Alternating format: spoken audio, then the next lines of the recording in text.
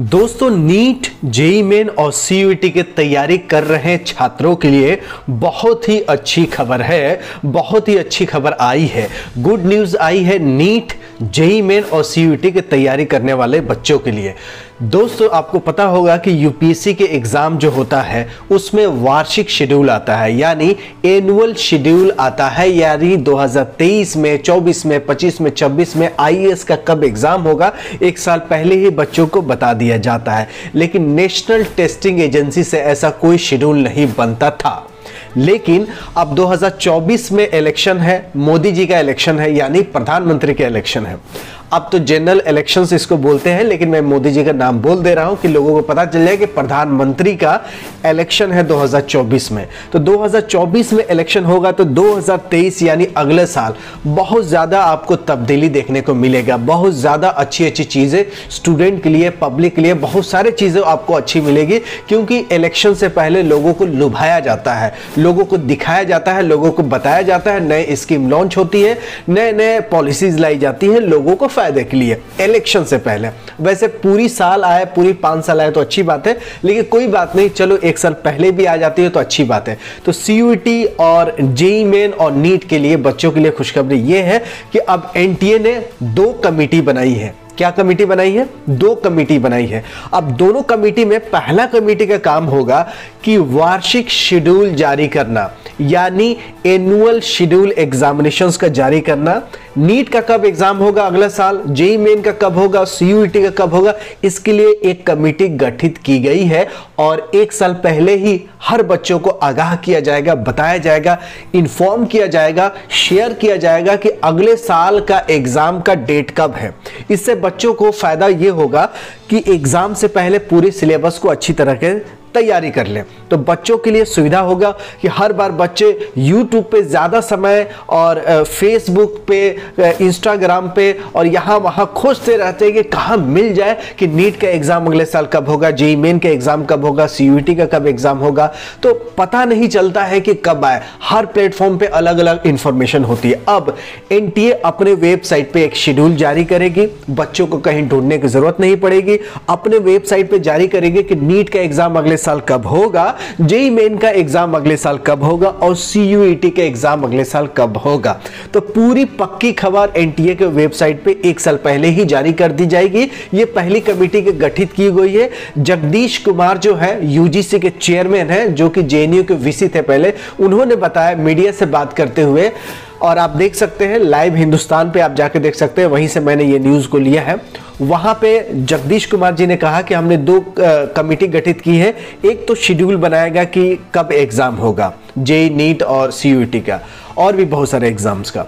और दूसरा कमिटी है कि सी पिछले साल बहुत ज़्यादा गड़बड़ हुआ। लास्ट ईयर जो एग्ज़ाम हुआ है सी का तो बहुत सारे गड़बड़ी हुई। कहीं एग्ज़ाम सेंटर पे क्वेश्चन लेट आए, कहीं पे एग्ज़ाम सेंटर पे किसी को घुसने नहीं दिया। एडमिट कार्ड जिसको आना चाहिए, उसको एडमिट कार्ड नहीं है। बहुत सारा धांधली से लेके इधर उधर बहुत सारे सेंटर वाले दिमाग खराब कर दिए थे, दिमाग का दही बना दिए थे बच्चों का।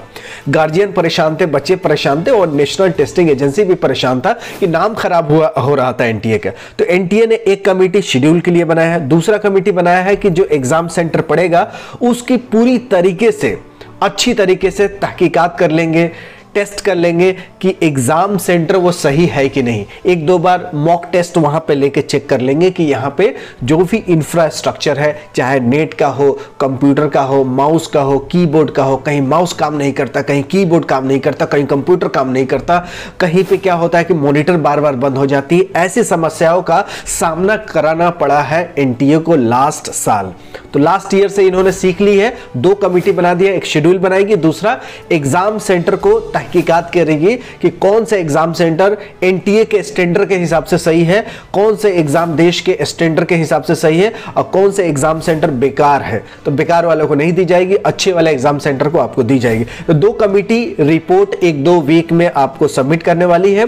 उसके बाद आपको यह पता चल जाएगा कि नीट का कब एग्ज़ाम होगा, जेई मेन का कब एग्ज़ाम होगा, सीयूटी का कब एग्ज़ाम होगा। आपको पता ही है कि नेशनल टेस्ट एजेंसी बहुत सारे एग्ज़ाम्स लेती है। सैनिक स्कूल का एग्ज़ाम लेती है, जेई मेन्स हो गया नीट होगा सी यू ई टी हो गया J N U E T होगा D U E T U G C NET C S I R NET G PAT C MAT IGNOU का एम बी ए इग्नू का P H D I I F T N C H M hotel management का JEE e और agriculture research ये सारे exams N T A लेती है तो अब कौन, कोई किसी के एग्ज़ाम से क्लैश नहीं करेगा। जैसे बोर्ड का एग्ज़ाम क्लैश कर जाते थे और प्रैक्टिकल एग्ज़ाम क्लैश कर जाते थे तो board C B S E का I C S ICSE board का यूपी बिहार बोर्ड से लेकर जितने भी एग्ज़ाम्स है सबको एनटीए स्टडी करेगी और किसी एग्ज़ाम से किसी और एग्ज़ाम का क्लैश नहीं होगा। यानी किसी बच्चों को एक, कोई एग्ज़ाम परीक्षा छोड़ने की ज़रूरत नहीं होगी और कोई ट्विटर पे ट्रेंड कराने की ज़रूरत नहीं होगी कि postpone JEE main postpone NEET postpone CUET ये करने की ज़रूरत नहीं पड़ेगी क्योंकि कोई एग्ज़ाम एक दूसरे से क्लैश ही नहीं करेगा। इस हिसाब से एनटीए आपको शेड्यूल बनाएगा। तो कितनी अच्छी खुशखबरी है ना? और एक साल पहले पता चल जाएगा तो तैयारी करने में आसानी होगी। और 2023 में इसलिए ये लागू करना ज़रूरी है, क्योंकि 24 में इलेक्शन है। इलेक्शन से पहले बच्चों को दिखाना है कि सी के एग्ज़ाम तो हमने लागू किया, लेकिन अच्छे तरीके से लागू किया। हो सकता है इलेक्शन पर इसका कुछ कुछ point point point zero zero one percent का भी फ़र्क पड़ता होगा। तो कुछ तो पड़ेगा, नाम तो खराब होगा। बच्चे परेशान तो होंगे कि आप लोगों ने सीयूटी लॉन्च किया लेकिन सही नहीं किया। नीट जेई जैसा करवा रहे तो उस हिसाब से सीयूटी आपने नहीं करवाया। तो इसके लिए इन्होंने कमेटी बना दी कमेटी अपनी रिपोर्ट सबमिट करेंगी तो मैं वीडियो में बताऊँगा। और एक खुशी की खबर यह है कि यूजीसी के चेयरमैन ने कहा है कि सीयूटी जो है, अगले साल से दो बार करवाने की कोशिश करेंगे। तो शेड्यूल में पता चल जाएगा कि दो बार जो होगा, वो किस किस महीने में होगा? अप्रैल में होगा मई में होगा, जून में होगा या जुलाई में होगा, ये शेड्यूल आ जाएगा तो पता चल जाएगा। लेकिन यूजीसी के अध्यक्ष ने कहा है कि हमारा अंतिम उद्देश्य अगले वर्ष से दो बार सीयूटी यूजी आयोजित करना है। एक बार जब हम तारीखों की उपलब्धता के आधार पर टाइम शेड्यूल तैयार कर लेंगे तो निर्णय लिया जाएगा। और एनटीए के एक वरिष्ठ अधिकारी ने बताया है कि हम परीक्षा के पैटर्न में बदलाव या सीयूटी के छात्रों को दिए जाने वाले विकल्पों की संख्या कम करने के संबंध में कोई निर्णय नहीं लिया गया जैसे कि सीयूटी में बहुत सारे ऑप्शन दिए गए थे लास्ट ईयर इस साल वैसा कुछ भी नहीं किया गया है कि इस बार कुछ बदलाव होगा। वरिष्ठ अधिकारी ने कहा कि हमारे नाम को पब्लिश मत कीजिएगा, लेकिन जैसे पिछले साल हुआ था सीयूटी यूजी पीजी के एग्ज़ाम, उसी तरह अगले साल भी होगा, लेकिन दो बार करवाने की कोशिश की जा रही है और शेड्यूल बनाने की कोशिश की जा रही है और एग्ज़ाम सेंटर पर जो भी इंफ्रास्ट्रक्चर है कीबोर्ड है माउस है मॉनिटर है, वहाँ पे टॉयलेट की सुविधाएँ हैं, वहाँ पार्किंग की सुविधाएँ, सारी सुविधाएँ देख के ही एग्ज़ाम सेंटर वहाँ पे बनाया जाएगा। तो बहुत खुशी की बात है, वीडियो पसंद तो आई होगी तो लाइक कीजिएगा। अपने दोस्तों, यारों को फैमिली मेंबर्स को शेयर करके बताइएगा कि अच्छी खबर आने वाली है। अगले साल से कुछ अच्छा होने वाला है स्टूडेंट के लिए। तो मुझे उम्मीद है कि वीडियो पसंद आई होगी तो लाइक कीजिएगा। चैनल पर न हो तो सब्सक्राइब कीजिएगा। इस वीडियो के बारे में, इस पॉलिसी के बारे में यूजीसी के, आपके बारे में क्या रहा है, आपके मन में क्या क्या रहे आपकी मन की राय कमेंट बॉक्स में बताएँ। मिलते हैं अगली वीडियो में। तब तक you take good care of your जय हिंद, जय भारत।